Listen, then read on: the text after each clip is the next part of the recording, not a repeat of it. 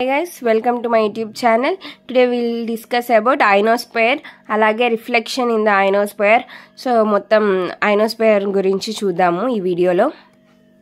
First first మనము డయాగ్రమేటిక్ రెప్ర representation చూద్దాం. So ఎత్ అంటే ఇట్ ఈజ్ ఐనోస్పైర్ అనేది వన్ ఆఫ్ ద లేయర్ అనమాట ఎక్కడైతే మనకి వేవ్ అనేది రిఫ్లెక్ట్ అవుతుంది. ఎందుకంటే ఈ ఐనోస్పియర్కి ఆ ఎబిలిటీ ఉంటుంది to reflect the radio waves so ఎప్పుడైతే మన క్యాంటీనా నుంచి రేడియో వేవ్స్ అవుతాయో సో అవి again reflect back to the earth అనమాట ఎర్త్కి మళ్ళీ రిఫ్లెక్ట్ బ్యాక్ అవుతాయి అనమాట అండ్ దెన్ సిగ్నల్ ప్రాపగేషన్ అనేది జరుగుతుంది.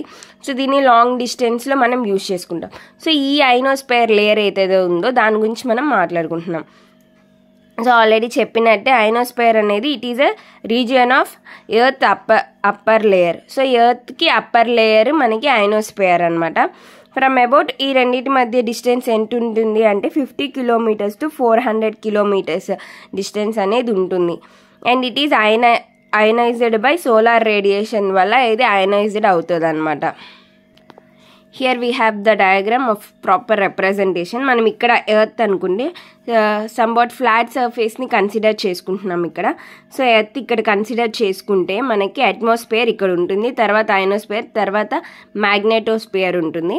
సో ఎర్త్కి అట్మాస్ఫియర్ లేయర్లో మనకి ఏముంటాయంటే ట్రాన్స్ ట్రాన్స్మిటర్ ఉంటుంది. సో ట్రాన్స్మిటర్ మనకి ఏం చేస్తుంది? రేడియో వేవ్స్ని పంపిస్తుంది. సో రేడియో వేవ్స్ అనేది ఐనోస్ఫియర్ లేయర్కి ఎప్పుడైతే రీచ్ అవుతాయో అప్పుడు అగైన్ ఇట్ విల్ బ్యాక్ అంటే రిఫ్లెక్ట్ అవుతాయి అనమాట టువర్డ్స్ ద ఎర్త్ సో అలాగా మనకి అట్మాస్ఫియరిక్ లేయర్లో ఐనోస్ఫియర్ వల్ల రిఫ్లెక్షన్ జరిగి మళ్ళీ బ్యాక్ టు ద ఎర్త్ అనేది వస్తాయన్నమాట. ఇక్కడ మ్యాగ్నెట్ మ్యాగ్నెటోస్పేర్లో ఏం జరుగుతుందంటే ఐనైజేషన్ ప్రాసెస్ అనేది జరుగుతుంది. Ionizing x rays from the solar flare. అంటే సోలార్ రేడియేషన్ని బేస్ చేసుకొని ఐనైజేషన్ ప్రాసెస్ అనేది జరుగుతుంది. ఇక్కడ ఉంటుంది చూడండి. The molecules of the atmosphere. So అట్మాస్ఫియర్లో ఉండే మాలిక్యూల్స్ ఐనైజ్డ్ ఎలా అవుతాయంటే by ultra violet rays ultra violet rays ద్వారా alpha beta and gamma rays from the solar radiation so ఈ సోలార్ రేడియేషన్లో నుంచి వచ్చే ఈ రేస్ ఏవైతే ఉన్నాయో సో ఈ వీటిని బేస్ చేసుకొని మనకి మాలిక్యూల్స్ అట్మాస్ఫియర్లో ఉండే మాలిక్యూల్స్ అనేవి అయనైజ్డ్ అవుతాయన్నమాట. సో అయనైజ్డ్ డెన్సిటీ దేని మీద డిపెండ్ అవుతుంది అంటే మాలిక్యులర్ డెన్సిటీ సో దాని దానికి ఉన్న డెన్సిటీ అలాగే energy of the solar radiation ఒక ఎనర్జీని ఈ రెండింటిని బేస్ చేసుకుని మనకి అయనైజేషన్ డెన్సిటీ అనేది డిపెండ్ అవుతుందన్నమాట. సో అయనైజేషన్ డెన్సిటీ అనేది it is a process by which a molecule acquires a negative or positive charge first ionization అంటే ఏంటి? అంటే అయాన్ అంటే ఏంటి? Positive ion negative ion so ఒక మాలిక్యూల్ పాజిటివ్ కానీ నెగిటివ్ కానీ ఛార్జ్ని గెయిన్ చేయడం కానీ or losing electrons. Losing electrons అంటే నెగిటివ్ ఛార్జ్ రావడం గెయినింగ్ అంటే పాజిటివ్ ఛార్జ్ రావడం. సో ఇట్లాగా ఏదో ఒక మనకి ఛార్జ్ అనేది పాజిటివ్ కానీ నెగిటివ్ కానీ ఒక మాలిక్యూల్కి రా వచ్చే ప్రాసెస్ని మనం అయనైజేషన్ ప్రాసెస్ అనేది అయనైజేషన్ అని అంటాం. అది ఎక్కడ జరుగుతుందో ఆల్రెడీ విల్సి మై మ్యాగ్నటోస్పియర్లో జరుగుతుంది. That is due to Uh, some rays from the solar radiation that is UV rays, alpha rays, beta rays or gamma rays. So this is about the process of ionization in the ionosphere. And then will see wave wave reflection in ionosphere waves ఎలా reflect అవుతాయి ఐనోస్పియర్లో అనేది చూద్దాం అనమాట the ionosphere consist of మనం already discuss చేసుకున్నాం ఐనోస్పియర్లో మనకి ఐనైజ్డ్ గ్యాస్ మాలిక్యూల్స్ ఉంటాయి డ్యూ టు ఐనైజేషన్ ప్రాసెస్ వల్ల మనకి ఐనైజ్డ్ గ్యాస్ మాలిక్యూల్స్ ఉంటాయి.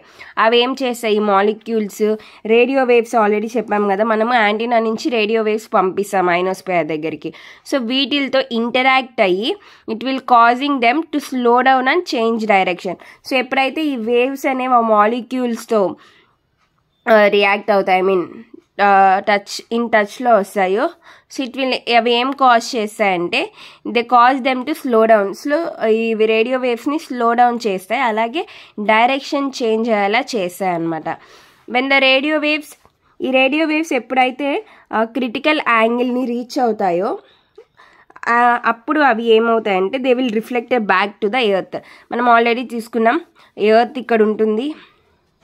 అండ్ ఐనోస్పియర్ అనుకుంటే ఎప్పుడైతే క్రిటికల్ యాంగిల్ని రీచ్ అవుతుందో ఇక్కడ నుంచి వచ్చిన రేడియో వేవ్స్ అప్పుడు మనకి రిఫ్లెక్షన్ అనేది జరుగుతుంది బ్యాక్ టు ద ఎర్త్ మళ్ళీ. The angle of incidence it will be depend upon the frequency of the radio waves so ఆ యాంగిల్ ఆఫ్ ఇన్సిడెంట్ దేని మీద డిపెండ్ అవుతుంది అంటే ఫ్రీక్వెన్సీ మీద అలాగే అయనైజేషన్ డెన్సిటీ మీద డిపెండ్ అవుతుంది. So this is about wave reflection in the ionosphere. ఇప్పుడు రిఫ్రాక్టివ్ ఇండెక్స్ ఆఫ్ ఐనోస్పియర్ చూద్దాం. Refrac reflection of the wave from the ionosphere is through reflection of waves. So మనకి Snell's law use చేసుకొని ఈ refractive index అనేది చెప్పారనమాట so n that is so ఇక్కడ మనకు ఒక డయాగ్రామ్ ఉంది. Refraction of EM electromagnetic EM అంటే electromagnetic wave in ionosphere. So ఒక ఐనో ఒక ఇన్సిడెంట్ రే అనేది పంపిస్తున్నాం. సో దెన్ అది రిఫ్ రిఫ్రాక్షన్ అయ్యి ఎలాగొస్తుంది అని చెప్పేసి this is the diagram. So ఇక్కడ ఇన్సిడెంట్ రే అనేది ఫామ్ ఫామ్ అవుతుంది. ఇక్కడ రిఫ్రాక్షన్ జరుగుతుంది కాబట్టి టీటా ఆర్. సో మనకి refraction equals to sine theta I by sine theta R. So root of epsilon R that is one root of one minus eighty one N by F square so ఇది వచ్చేసి మనకి చాలా ఎక్కువ derivation తర్వాత మనకి ఈ answer అనేది వస్తుంది. సో అంత డెఫినేషన్ అంత డెరివేషన్ మనకి అవసరం లేదు కాబట్టి నేను డైరెక్ట్ ఫామ్లో వేసేసాను. Now will see the structure of ionosphere ionosphere structure ఎలా ఉంటుంది అని చెప్పేసి ఐనోస్పేర్ వచ్చేసేసి అప్ ఎర్త్స్ అప్పర్ లేయర్లో ఒక లేయర్ అనమాట విచ్ కంటైన్స్ ఏముంటాయి ఆల్రెడీ ఇందా నుంచి మనం డిస్కస్ చేసుకుంటే అయనైజ్డ్ గ్యాస్ మాలిక్యూల్స్ అనే ఉంటాయి.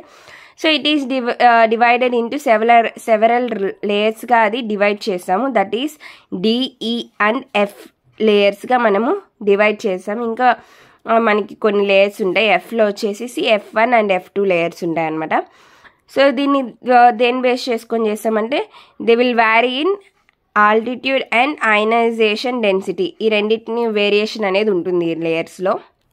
So here we have the diagram అనమాట సో ఫస్ట్ మనకి ట్రోపోస్పియర్ ఉంటుంది ట్రోపోపాస్ ఉంటుంది. దాని తర్వాత స్ట్రాటోస్పియర్ తర్వాత మనకి ఐనోస్పియర్ రీజియన్ అనేది వస్తుంది. That is D E F one F two already F లేయర్ని మనం ఎఫ్ వన్ ఎఫ్ టూ లేయర్స్గా డివైడ్ అవుతుందని చెప్పాను కదా అదే ఇది. సో ఇక్కడ వచ్చేసి కిలోమీటర్స్ అనమాట ఎన్ని కిలోమీటర్స్ అనేవి ఉంటుంది అని చెప్పేసి ఒక్కొక్క రీజియన్ సో ఇప్పుడు మనం డీ లేయర్ అంటే ఏంటి? డీ లేయర్ వచ్చేసేసి లోయెస్ట్ లేయర్ నార్మల్గా ఈ లేయర్స్ ఐనోస్పియర్లో లోయెస్ట్ లేయర్ వచ్చేసి D layer and it is responsible for observing radio waves during the day day టైంలో రేడియో వేవ్స్ని అబ్జర్వ్ చేసుకోవడానికి మనం డీ లేయర్ అనేది యూజ్ చేస్తాం. And then E and F layers వచ్చేసి మనకి they are responsible for reflecting radio waves. ఇక్కడ observing radio waves కదా ఇక్కడ reflecting radio waves back to the earth. ఎప్పుడైతే అవి ఐనోస్పియర్కి వచ్చి మళ్ళీ బ్యాక్ అవుతాయో సో ఆ బ్యాగ్కి రావడానికి రే మనకి మెయిన్ రోల్ ప్లే చేసేది వచ్చేసి ఈ అండ్ ఎఫ్ లేయర్స్ అనమాట during day and night. So రెండిట్లో డే టైంలో నైట్ టైంలో రెండిట్లో ఈ లేయర్స్ అనేవి it will responsible for reflecting radio waves back to the earth and uses ఎందుకు అంటే ఇట్ యూజెస్ ఆఫ్ ప్రాపగేషన్ ప్రాపగేషన్ని మనం uh, చేయడానికి ఈ uh, ఐనోస్పియర్ టాపిక్ అనేది ఈ రిఫ్లెక్షన్స్ అనేవి యూజ్ చేస్తామన్నమాట. ఈ కాన్సెప్ట్ అనేది ఎక్కడ ఎక్కువ యూజ్ చేస్తామంటే for the long distance communications particularly for broadcasting అలాగే అమెచర్ రేడియోలో ఎక్కువ దీన్ని యూజ్ చేస్తాము. అలాగే it is also used for military కమ్యూనికేషన్స్లో కూడా యూజ్ చేస్తాం. అలాగే for emergency communications during natural disa disasters టైంలో ఎమర్జెన్సీ కమ్యూనికేషన్ కావాలన్నా ఈ ఐనోస్పియర్ టెక్నిక్ అనేది మనం ఫాలో చేస్తాం. This is all about ionosphere. If like the video please like share and subscribe the channel. Thank you